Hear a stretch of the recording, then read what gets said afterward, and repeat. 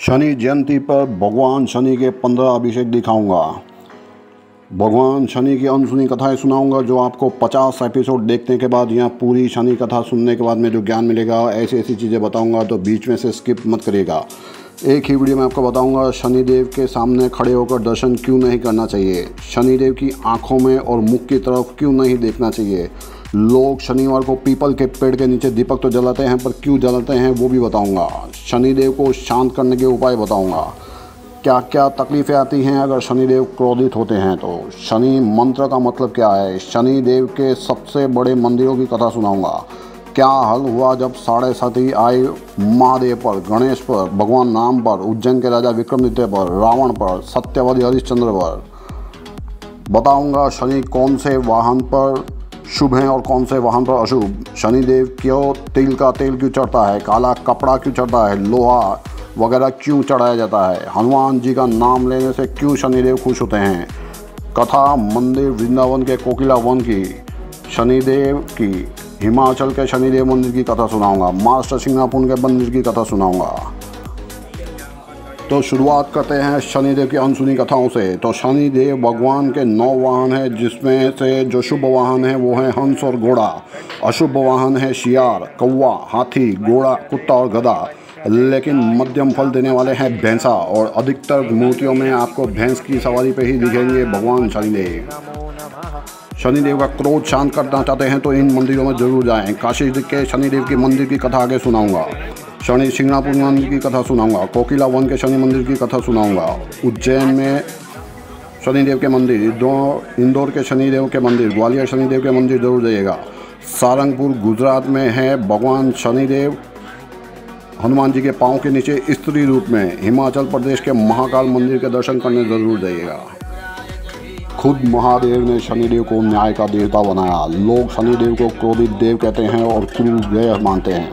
अगर कोई रेपिस्ट या मर्डरिस्ट को मौत की सज़ा सुनाए तो क्या वो क्रूर है? और जो उन्हें छोड़ दे तो क्या वो अच्छा है? हमारे छोटे से छोटे पाप का दंड और छोटे से छोटे अच्छे कर्मों का फल देने का काम महादेव ने शनिदेव के हाथ में दिया है तो वो क्रूर कैसे हो गए? जीवन में बस एक चीज़ याद रखना कि कोई भी छोटा सा पाप किया तो उसका फल तैंतीस करोड़ जन्मों तक भुगतना पड़ेगा।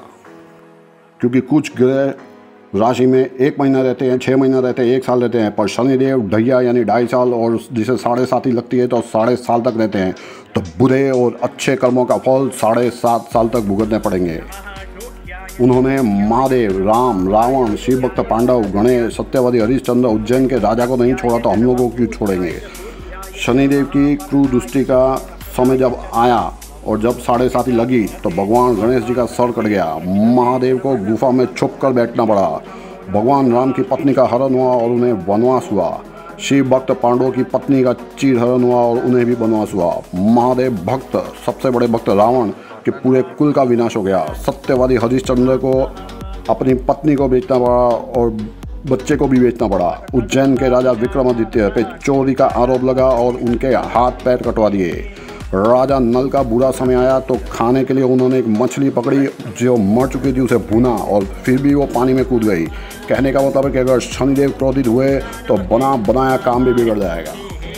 ये सारी कथाएँ मैं आपको पूर्ण रूप से सुना रहा लेकिन सबसे पहले आप ही ये वीडियो छोड़ के भाग जाते हैं, क्योंकि आपके पास समय नहीं है। तो चलिए शॉर्ट में कथा आगे की शुरू करते हैं। तो बात शुरू करते हैं भगवान शनि के परिवार की। भगवान सूर्य के पुत्र हैं, भाई उनका यम है, यमराज। बहन यमुना नदी और तापी नदी हैं। अश्विनी कुमार भी उनके दो भाई हैं, जो दो घोड़े के रूप में हैं। महाभारत का कर्ण भी उनका भाई है और उनकी माँ का नाम है छाया और उनकी बड़ी माँ का नाम है संध्या। शनिदेव का मंत्र है ओम शम शनेश्चराय नमा। दूसरा मंत्र है ओम श्री शनेश्चराय नमा। तीसरा मंत्र है, ओम प्राम प्रीम प्रोम सह शनेश्वराय नमा। और सबसे मेन मंत्र है, ओम नीलांजन समावासम रवि पुत्रम यवागजम छाया मातुन समुदम तम नमामि शनेश्वरम तो चलिए इसका मतलब समझाता हूँ आपको। शनिदेव जो नीले पर्वत के रूप में चमक रहे हैं और काले रंग के हैं, रवि के पुत्र हैं यम देव के भाई हैं छाया जिनकी माता है, ऐसे शनिदेव को मैं प्रणाम करता हूँ। भगवान शनिदेव की अपने पिता सूर्य से नहीं बनती थी। कुंडली में भी इनका प्रभाव दिखता है। सूर्य देव की पहली पत्नी संध्या, जो विश्वामित्र जी की बेटी थी, कि दो पुत्र यमुना और यम हैं। सूर्य देव का ताप संध्या जी से सहन नहीं हुआ तो उन्होंने अपनी एक छाया बनाई और उन्हें सूर्यदेव के पास छोड़कर खुद चली गई। अब छाया यानी शेडो उनसे दो बच्चे हुए। एक थी तापी नदी और दूसरे थे शनि देव पर सूर्य देव को नहीं मालूम था तो उन्हें शक हुआ कि सूर्य खुद गोरे थे और शनि काले की हुए हैं तो शक हुआ तो उन्होंने छाया और शनि देव को त्याग कर दिया इसीलिए शनि और सूर्य की नहीं बनती एक बार सूर्य तो शनि जी को चला लेते हैं लेकिन शनि जी नहीं चलाते दूसरी कथा एक बार हनुमान जी से युद्ध हुआ तो शनिदेव हार गए लात में दर्द हुई हनुमान जी से माफ़ी मांगी तो हनुमान जी ने तेल लगाया तो आराम मिला शनिदेव को। तो जो हनुमान जी की पूजा करेगा और शनिदेव को तेल चढ़ाएगा, काला कपड़ा चढ़ाएगा और लोहा चढ़ाएगा तो शनिदेव ने वरदान दिया कि शनि उनके ऊपर प्रसन्न होंगे और उनके ऊपर ज़्यादा बुरा प्रभाव नहीं होगा। तीसरी कथा, क्रोधी स्वभाव कहते शनिदेव। भूख लगी तो उन्होंने छाया नहीं, लेकिन उनकी जो दूसरी माँ थी, संध्या माँ से खाना मांगा। माँ खाना लाने में लेट हो गई, उन्होंने अपने बच्चे यम और यमुना का खाना खिला रही थी। तो गुस्से में आकर शनिदेव ने संध्या को लात मार दी। तो माँ ने श्राप दिया कि उनकी टांग टूट जाएगी। तब शनिदेव काशी में आकर तपस्या की। तो उन्होंने कहा कि टांग टूटेगी तो नहीं, लेकिन टांग में दर्द रहेगा और टांग टेढ़ी हो जाएगी। तो शनि सबसे धीरे चलने वाले ग्रह हैं। ढैया और साढ़े सात साल तक आगे बता चुका हूँ। तो लंबे समय तक दंड और अच्छा फल देते हैं कुंडली में। तो इसीलिए काशी के भी शनिदेव मंदिर में जाइए, उन्हें वहाँ शांति मिली थी तो आपको भी शनि के प्रकोप से शांति मिलेगी। अगली कथा, शनिदेव की शादी नहीं करना चाहते थे, पर पिता सूर्य की इच्छा पूरी करने के लिए उन्होंने शादी की। तो उनकी पत्नी ने 19 साल तक उनकी सेवा की और एक दिन शनिदेव तपस्या में बैठे थे तो पत्नी ने बच्चे की छप पकड़ की और शनिदेव क्रोधित हो गए तब से उठकर। तो पत्नी ने उनको श्राप दे दिया, क्योंकि शनिदेव उनकी तरफ़ तो देखा तक नहीं था। तो पत्नी ने श्राप दिया कि उनकी सीधी नज़र आज के बाद किसी की तरफ़ भी नहीं पड़ेगी। अगर पड़ेगी तो वो बर्बाद हो जाएगा। इसीलिए ज़्यादा करके शनिदेव की मूर्ति की आँखें या तो ऊपर देख रही होती हैं या नीचे की तरफ़। शनिदेव का जब भी दर्शन करें तो हाथ कैदी की तरह पीछे रखकर दर्शन करें। इसलिए कभी भी शनिदेव की आँखें और मुख की तरफ़ ना देखते हुए पाँव की तरफ़ देख कर ही दर्शन करना चाहिए। जो ज़्यादा करके लोग गलती करते हैं और शनिदेव की दृष्टि के भागी बन जाते हैं। एकदम सामने ना खड़ा होकर, थोड़ा दूर से साइड पर खड़े होकर ही दर्शन करना चाहिए। उनकी पत्नी के बारह नाम हैं, जो लेने से शनि जी का क्रोध शांत होता है। पहली है दामिनी, कंकाली, कलही, तरंगी, कंटकी कलहप्रिया तरंगी महिषी और अंजा।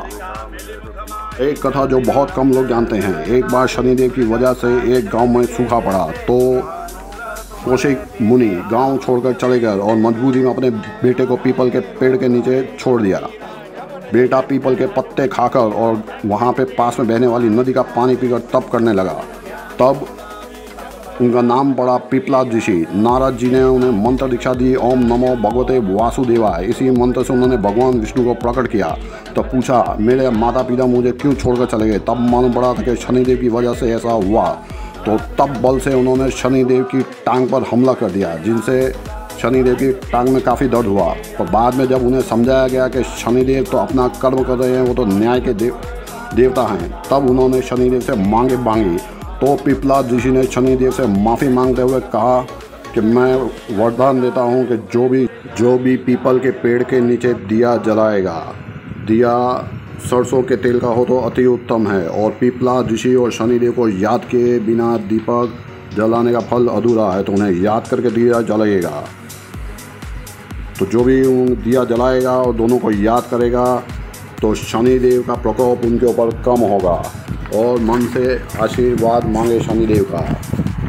अगली कथा। सभी देवता बाल कृष्ण के दर्शन करने के लिए वृंदावन पहुँचे थे। तो शनिदेव को भी हुआ कि वो भी भगवान कृष्ण के दर्शन करने के लिए जाएँ। पर नंद बाबा ने उनको वृंदावन के बाहर ही कोकिला वन में रुकने के लिए कहा। पर शनिदेव गुस्से से वृंदावन जाने लगे। तो भगवान कृष्ण ने हनुमान जी को भेजा। लेकिन शनिदेव नहीं माने तो हनुमान जी और शनिदेव में एक बार फिर से युद्ध हुआ। तब शनिदेव ने हार मानी और हनुमान जी से माफ़ी मांगी। तब शनिदेव ने कहा कि जो भी हनुमान जी की पूजा करेगा और उनके ऊपर तेल चढ़ाएगा और यहाँ पर कोकिला वन में आकर वृंदावन में, वृंदावन के पास शनिदेव के दर्शन करेगा, उसके ऊपर भगवान शनिदेव का प्रकोप कम हो जाएगा। अगली कथा, शनिदेव का सबसे बड़ा मंदिर सिंगापुर, महाराष्ट्र। एक मूर्ति बहकर पानी में आई। सभी चरवाहों ने देखी मूर्ति। तो एक रोड से मूर्ति को हटाने की कोशिश की। वो मूर्ति नहीं थी, वो शिला थी। तब एक, लेकिन वो मूर्ति टस की मस्त नहीं हुई। तब एक चरवाहे को रात को सपने में दर्शन दिए शनिदेव ने। तो उस भक्त ने पूछा कि मैं आपका मंदिर बनाना चाहता हूँ। तो शनिदेव ने कहा कि बनाओ, लेकिन मंदिर के ऊपर छत नहीं होनी चाहिए, क्योंकि भगवान सूर्य उनके पिता हैं तो वो खुले में ही रहना पसंद करेंगे। और सिंगनापुर के इस मंदिर में ऐसा चमत्कार है कि एक किलोमीटर के एरिए में, किसी भी घर में तब से लेकर सतयुग से लेकर आज तक कोई भी चोरी नहीं हुई। कोई अपने घर पे ताला भी नहीं लगाता। इवन के गवर्नमेंट के पोस्ट ऑफ़िस में भी महँगी चीज़ें पड़ी होती हैं, लेकिन वहाँ पर भी ताला नहीं लगता। और आज तक कोई चोरी नहीं हुई और कोई गुनाह नहीं होते क्योंकि लोग शनिदेव के प्रकोप से डरते हैं। शनि को शांत करने के उपाय की बात करते हैं तो शनि कथा जो भी मैंने आपको सुनाई, शनि कथा सुने। हो सके तो हर शनिवार को, नहीं तो शनिवार की अमावस के दिन या शनि जयंती के दिन, शनि चालीसा पढ़ें, शनि जी की आरती गाएँ, पिपला स्त्रोत्र पढ़ें, चींटियों का आटा खिलाएँ, शनिवार का उपवास करें। साढ़े साथी से बचने के उपाय महामृत्युंजय मंत्र ओम जमगम यजा महे, सुगंधिम पुष्टिवर्धन उद्वा रूप में वरना मुक्ति मामता का जाप करें, पेड़ लगाएँ, बुज़ुर्ग, विधवा और गरीबों की सेवा करें। शिव, कृष्ण और हनुमान जी की पूजा से शनिदेव प्रसन्न होते हैं। दान में जूते दे, छाता दे, घोड़े की नाल का लोहे का छल्ला पहने, झूठ बोलने वालों से शनिदेव नाराज़ होते हैं, इनसे नाराज़ रहते हैं झूठ बोलने वालों से, कपट करने वालों से, गरीबों का अपमान करने वालों से माता पिता को दुख पहुँचाने वालों से, दूसरों का हक छीनने वालों से, सूर्योदय के बाद सोने वालों से, भ्रूण हत्या करने वालों से, अपने ही बच्चों की जो हत्या करते हैं उनसे, गरीबों की हाय लेने वालों से, मांस खाने वालों से और शराब पीने वालों से, काम अगर शनिदेव नाराज़ हों तो काम काज में रुकावट आती है, शादी में तकलीफ़ होती है, लंबी बीमारियाँ होती हैं, एक्सीडेंट होने का डर लगा रहता है। अकेलेपन का सामना करना पड़ता है। अगर आप शनि मंदिर में जाएँ तो वहाँ पे चमड़े का बेल्ट पहनकर अंदर जाने नहीं देते। तो बेल्ट तो आप निकाल के जाएँगे, लेकिन जो लोग नॉनवेज खाते हैं तो चमड़ा आपके पेट में चला गया और खून बन गया है तो उसे कैसे निकालेंगे? तो वो लोग तो बेहकू बनाएँगे, लेकिन शनिदेव को कैसे बनाएँगे? और जय शनिदेव।